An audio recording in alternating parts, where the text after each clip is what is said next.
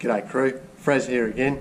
First of all, I'd just like to thank all the subscribers that have subscribed to the channel so far. Got around 140, which is fantastic. Uh, wasn't expecting that sort of response, and it's really good because it actually gives me some encouragement to keep doing this.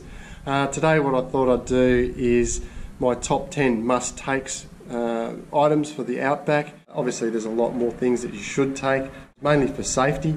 So, if you do get into trouble, you can be rescued uh, and also survive up until that time that you are rescued. This is number 10. Some people might think it should be number one.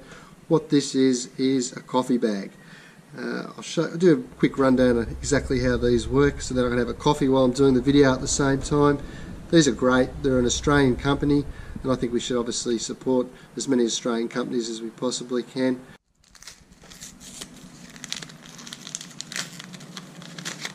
As you can see, it's like a big tea bag, but it's actually a coffee bag. It's got coffee um, grinds in it. Now the way it works is basically just pull it apart, drop it in the uh, in the cup like so.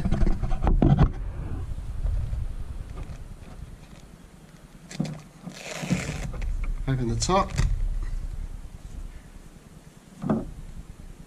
Pour your water in.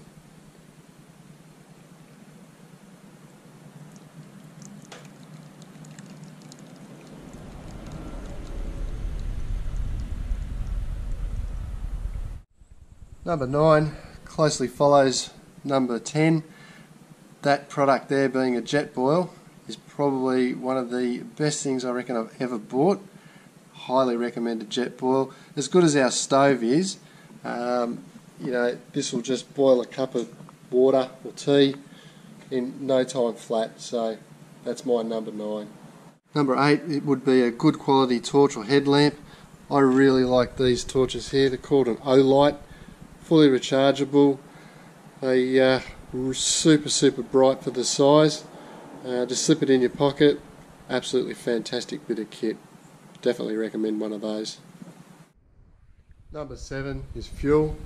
Pretty basic really. Make sure you've got enough fuel between your stops. Know where your stops are. Also make sure that the place that you're going has actually got the fuel that you need we had a uh, situation where I ignored a sign that said no fuel at the next stop. I thought it was a bit of an outback scam. Kept driving only to find out that it was actually no fuel at that particular place. I found out the hard way, so we got stuck there. Number six, this is just my basic toolkit. Uh, it's a good quality toolkit, German made. I only use this for the FJ and it stays in the car permanently. So that's something that I'd highly recommend to get. It's just a good quality tool set that can do everything you need it to do. Obviously, there's some specialty tools, you know, like rattle guns and whatnot, but I find that this, you know, pretty much meets all my needs. Combined with the toolkit, you should also consider a jumper pack. This is a lithium jumper pack, so this will jump, you know, big diesels, even trucks. Very good unit. Uh, especially good if you're on your own. You haven't got anyone to jump off, and our car being an automatic, so we can't roll start it. My number five is a puncture repair kit. This is the ARB one. This is a great kit because that handle is just so strong and sturdy. Actually used it a couple of times, mainly up in the Vic High Country, uh, but that's another, I think, essential item. Number four, it's a pretty obvious one, and that's tyres. Make sure you've got the right tyres to do the job. You need an off-road tyre. You can't go into the outback with just street tyres on. Ones I use, obviously, as I said in the other video, were Mickey Thompson ATZs. Never had a puncher, never had an issue with those with sidewalls. Obviously they are on the more expensive side and you can get other tyres that will do the job. Number three, now this is a personal choice for us. What this is, is a Garmin InReach Mini. The reason we chose this is we've used satellite phones before. Uh, we hired those. It's, it's expensive to hire them. Uh, they're also real expensive if you want to buy them and they come with an expensive plan. We just figured that they weren't really that practical for what we wanted. The advantage of the Garmin, it's a personal locator beacon. Also, our family can track us via an app. We can also text you know, emergency services if we need to, such as the flying doctors or mechanics if we want to get parts sent out. We can't actually talk on it, but we can text backwards and forwards. What I would do is be text my brother, for instance, back in town, and then he could liaise with a mechanic and then try and get some parts out to us if we needed to. So yeah, that's one device I'd definitely look into getting yourself if you don't want to go to the expense of say a satellite phone. It's got the loop on it there. I actually keep this on me at all times, so it's clipped to my belt. Uh, you never know what's going to happen or where you're going to be. For instance, if you have a bit of an accident in the car and that's flying around loose and you can't find it, you know, that, that could cause a few issues there. So you really do want to keep that on your person at all times. Number two, first aid kit.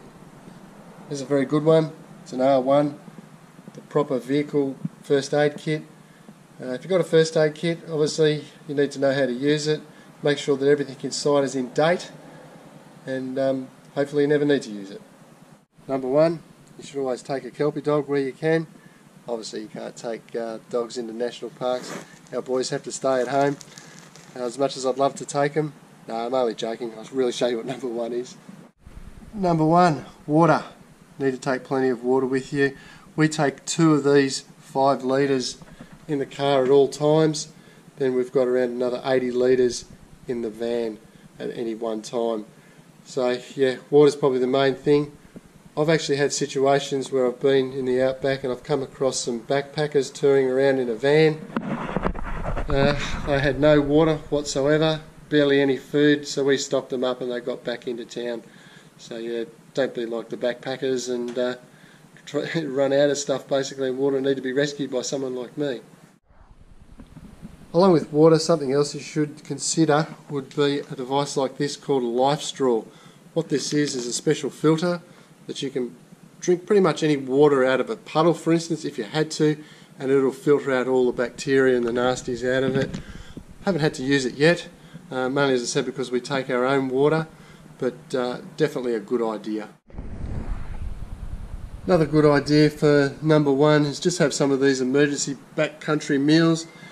Just need to boil a bit of water, or if you had to, you could put cold water in them.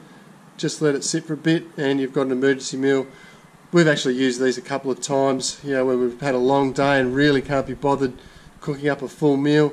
Just chuck some water in these, and uh, yeah, they're pretty nice. That's my top 10.